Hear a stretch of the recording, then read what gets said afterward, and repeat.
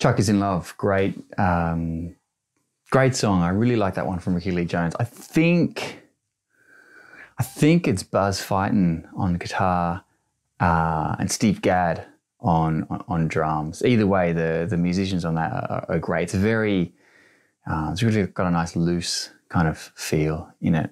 Um, obviously, not an, an acoustic guitar. Um, there's a couple of guitars in um, in this piece. We're going to go through just a couple of the sections uh, in it. There's obviously the main riff, classic riff, uh, very very very well known, and then we'll go through uh, the verse. Um, the the chorus and I, I, I, suppose the breakdown of the main pieces within it, but um, the interesting thing for me when we get to the verse is um, the full voicings versus what you might want to play um, in your own ensemble or in uh, when you're on your own versus what is actually on the recording. Um, and for me, I took an approach to play what some of the sort of the electric piano or keys or whatever uh, were playing uh, on, on guitar instead of in terms of a melody, a melody line. So the main riff, uh, you think in the key of in the key of A in standard tuning. Um, uh, just an A, A, A, I mean A5, but just the first couple of notes of, of an A chord. Uh, the C to C sharp. So you're just going to kind of, you're going up the, um, I suppose the A major pentatonic. Okay, and then think of a seventh chord, G and C sharp. Just a nice little slide in and out of there. Okay. Second time.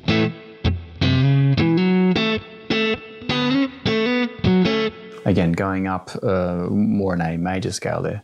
B to C sharp, A to B, F sharp A. Last time. He adds that high E there. Okay, so we've got G, C sharp, E, and just sliding it down a fret, back up. Okay. Let me play that again. Ending on the C, so the whole thing.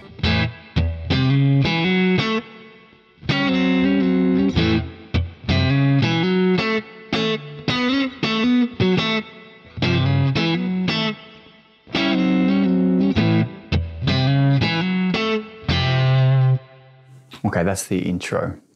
Nice little piece. Again, you've got to get the muting going so you can kind of. It sound. It feels better to me to play all the strings rather than single single note um, playing with your right hand. So keep in line with that. Now, when it comes into the verse, they're really vamping around an A major seven to B minor seven. So again, diatonic chords to the key of uh, of A major.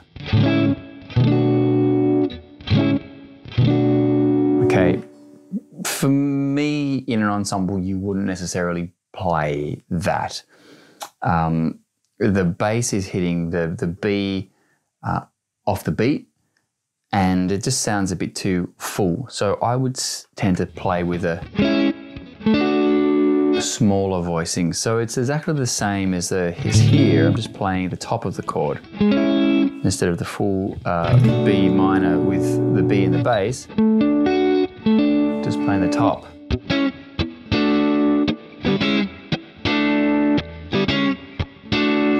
Okay. The rhythm here in the first verse one, two, three, four, one, two, three, four. Okay. Now, when it goes to what might be a pre chorus, I feel the A to the B is really important on the high string. So I'm playing an A, just an A major triad. To, uh, I suppose it's a, it's a D6. It's, it's a D chord, but that B there really important in terms of that little melody hook that um, the guitar or the piano are playing.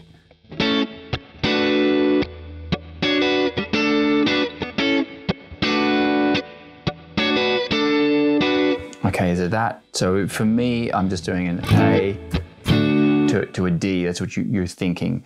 Um, but I'll play it an A triad to a the top of a D with that B note, which is the sixth, so D6. In terms of the little um, melodic piece they're playing, on that D, hit that C sharp, and then the A on the B string, 10th fret, and off. Okay?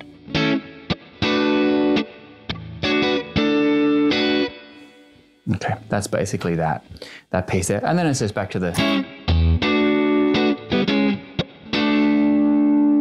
Okay, um, the, the, the chorus for me um, is a variation on that. It's just a slightly different rhythm of playing those notes. So.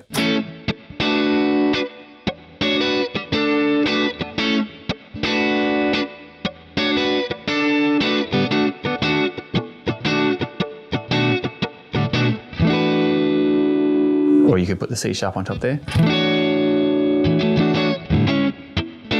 Okay, that's basically the chorus. Now, when it goes into just before the breakdown, you've got a D major 7, C sharp minor 7, standard voicings, F sharp 13. Okay, I've got a link below to chord chart and chord voicings used. So um, don't worry as such about the specific voicings. You can check them out there if you're interested. But it's a D major 7, two bars, C sharp minor, F sharp 13. Then it goes into the. Okay, for me, I just think of this as an A triad with an A bass, and the bass descends down, I suppose it's A mixolydian, you're thinking G instead of G sharp. But there's some chromaticism, so let's have a look at it. A, G, F sharp, F bass. Okay.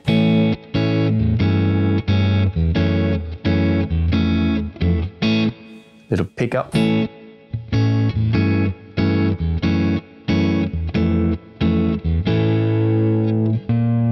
Flat. Again, an A on B to I'm thinking E major there, so the G sharp, but really they only play you know, the first few notes. Now, while you could name these chords as uh, something more complex than they are, for me, it's just very, very simple to think of an A chord with a descending bass line twice, and then their bass line ascends.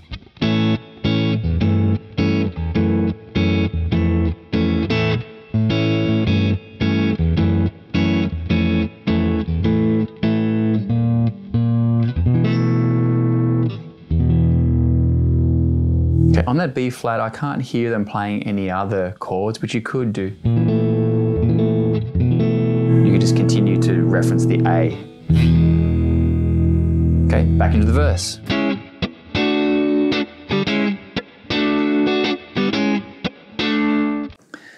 That's basically it, apart from one rhythmic section before it comes back into the intro riff. Okay, and you can think of it as uh, the A major 7, I'm, I'm, playing the high voicing, B minor 7, to an E9 sus 4. You're going to think of full voicings. Two, three, four. Okay, but I, again, I'm playing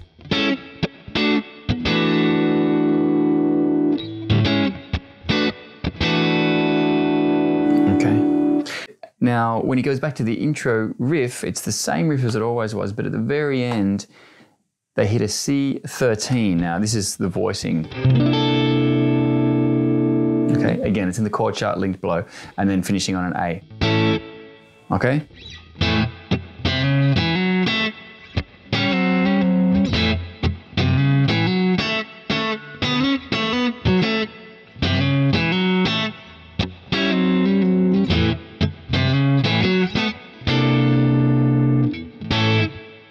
That's it. Great, great piece.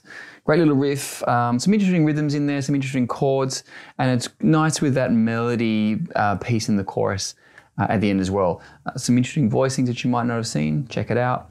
Let me know if you like it. Um, that's it. See you next time.